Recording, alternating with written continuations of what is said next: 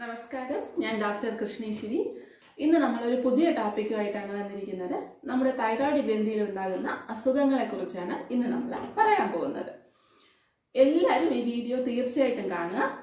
എന്തെങ്കിലും സംശയം ഉണ്ടെങ്കിൽ കമന്റ് ബോക്സിൽ എന്നോട് ചോദിക്കാം. തീർച്ചയായും മറുപടി തരുന്നതാണ്. അപ്പോൾ നമുക്ക് വീഡിയോയിലോട്ട് പോവാം.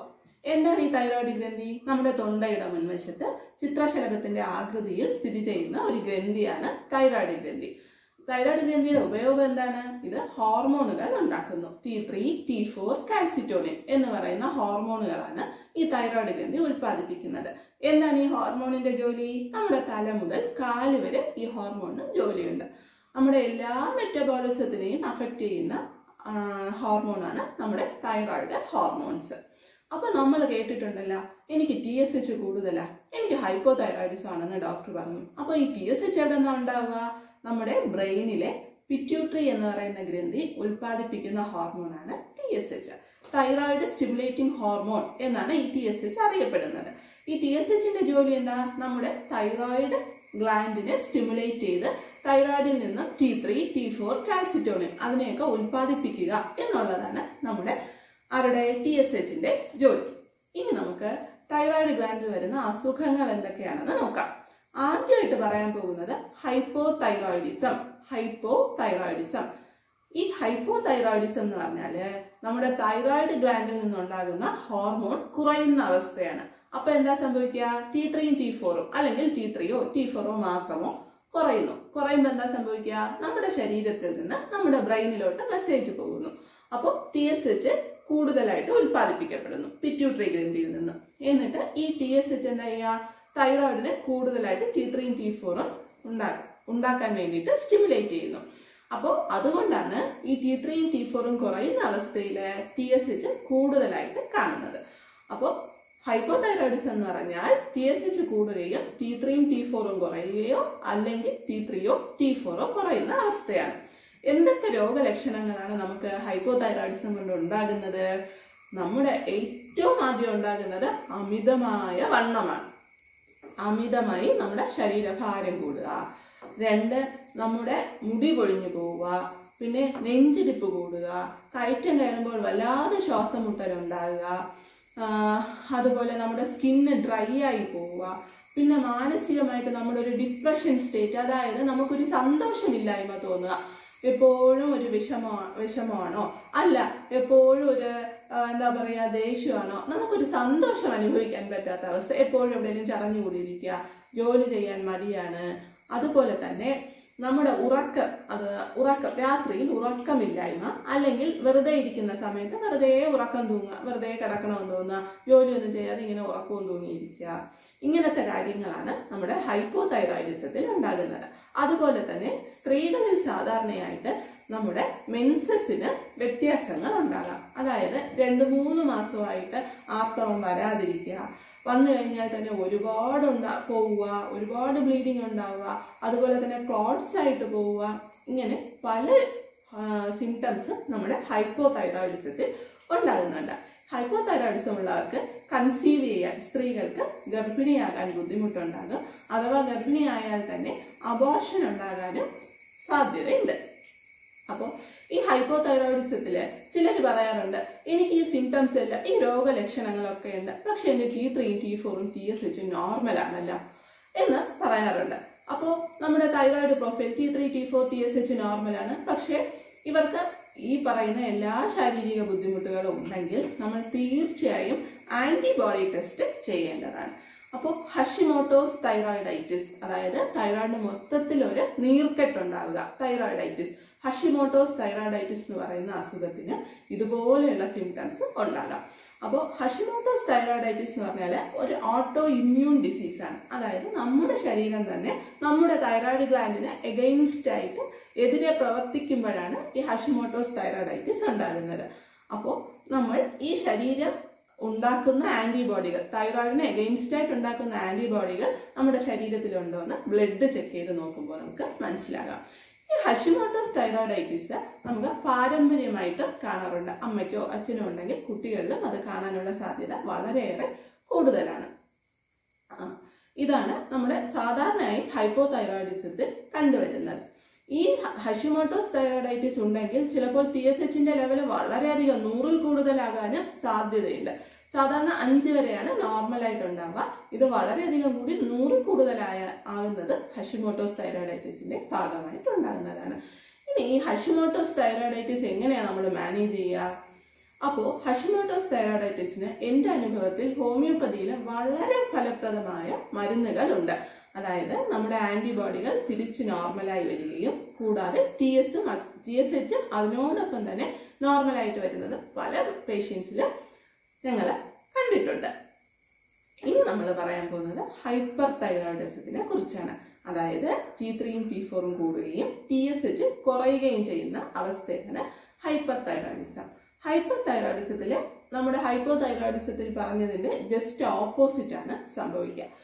ഈ ഹൈപ്പർ തൈറോയിഡിസത്തിൽ ആൾക്കാർക്ക് വിശപ്പുണ്ടെങ്കിലും വല്ലാണ്ട് മെലിഞ്ഞു പോകും എത്ര ആഹാരം കഴിച്ചാലും അത് ശരീരത്തിൽ പിടിക്കുന്നില്ല. ഞാൻ വല്ലാതെ മെലിഞ്ഞുകൊണ്ടിരിക്കുന്നു. കുറ- കുറച്ചു മുമ്പ് ഞാൻ നല്ല വണ്ണമുള്ള ആളായിരുന്നു.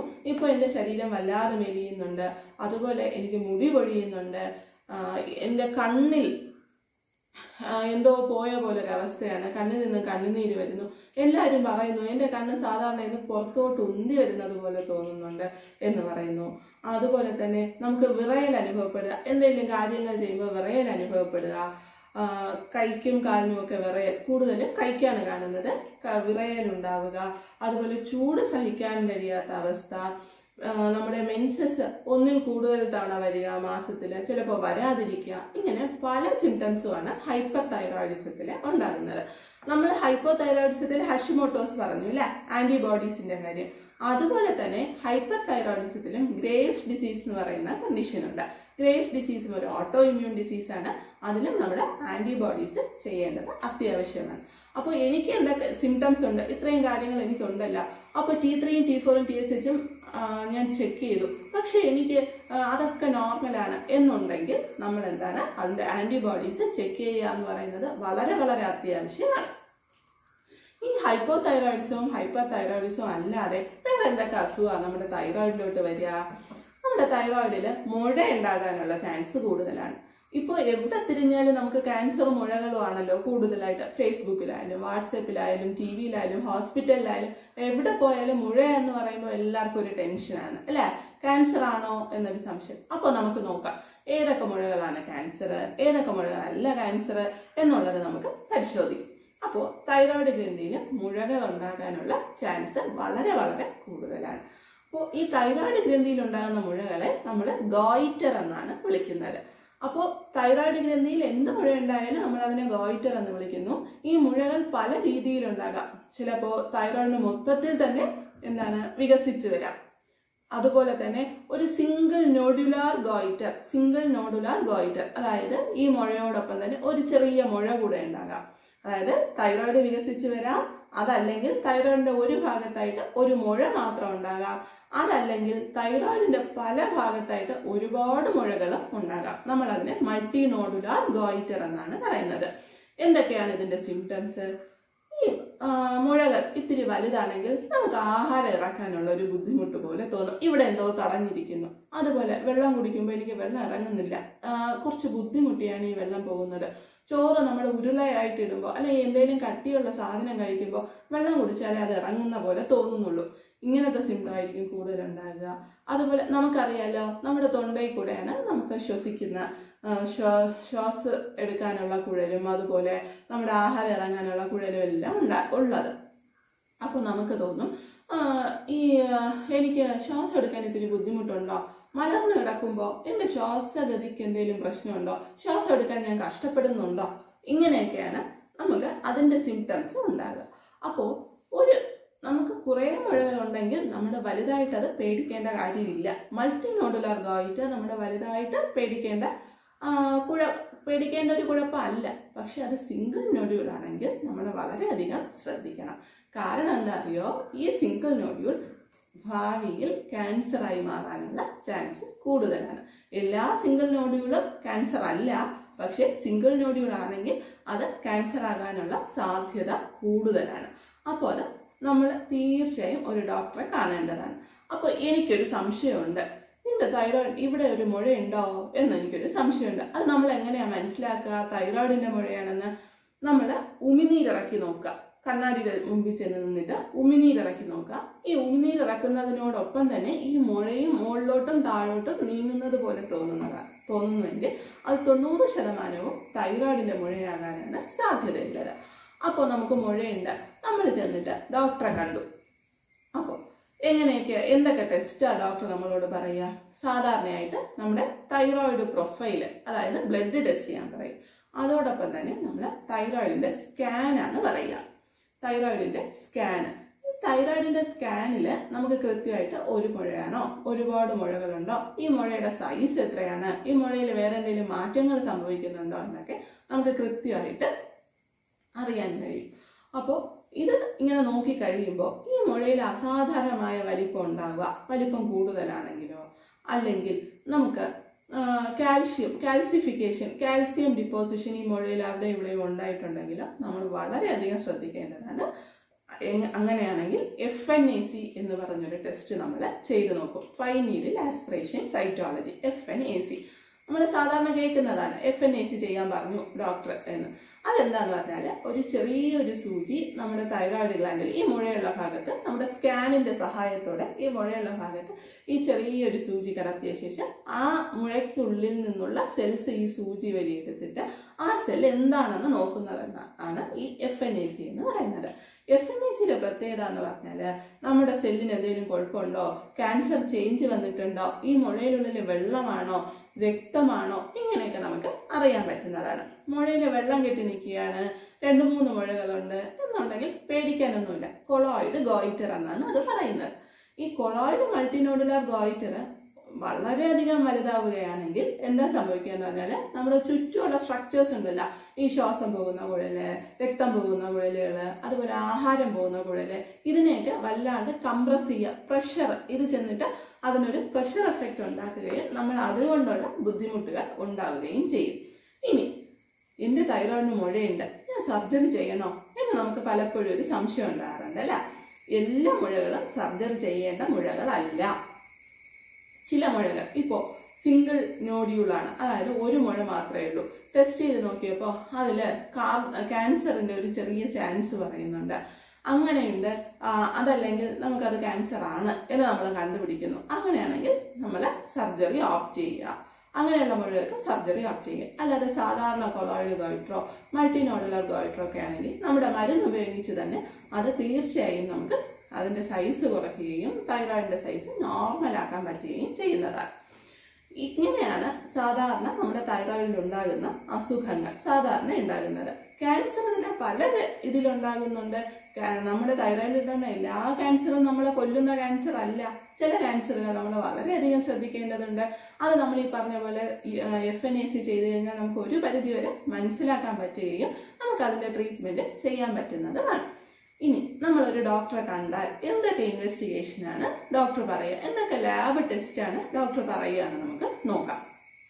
ഒന്ന് നേരത്തെ പറഞ്ഞതുപോലെ thyroid profile T three T four T S H സാധാരണ സാധാരണ ടെസ്റ്റാണ് പറയുന്നത് T three T four T S H നോക്കാൻ പറയും. ചില free T three free T four T S H എന്ന് നോക്കാൻ പറയും.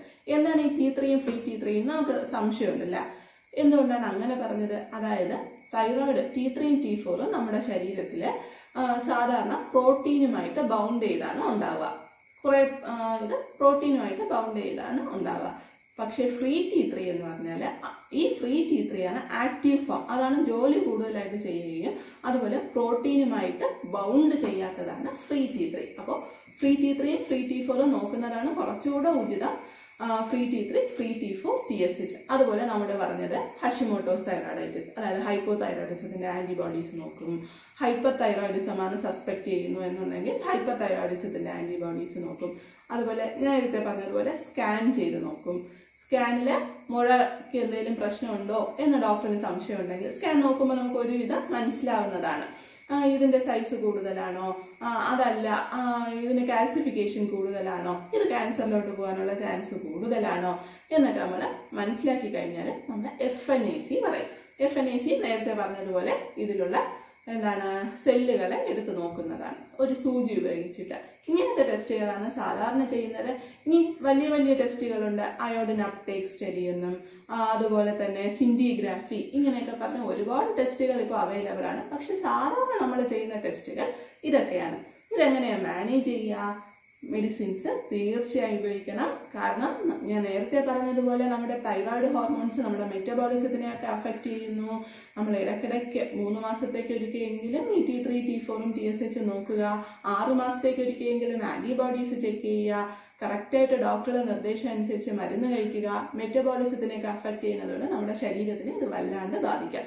എന്ന് പറഞ്ഞ് തൈറോയിഡ് ആണെന്ന് പറഞ്ഞ് നമ്മൾ പേടിക്കേണ്ട ഒരു അസുഖമോ അതല്ല എനിക്ക് തൈറോയിഡ് ആണല്ലോ എന്ന് പറഞ്ഞ് നമ്മൾ ടെൻഷൻ ആവുകയോ ഒന്നും വേണ്ട. മരുന്ന് കഴിച്ചാൽ നമുക്ക് കൃത്യമായിട്ട് കുറയാൻ പറ്റും.